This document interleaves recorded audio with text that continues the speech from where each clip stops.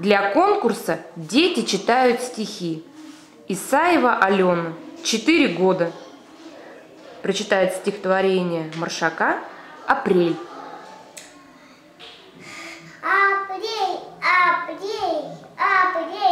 На дворе змеит капель, по полям бегут лучи, на дорогах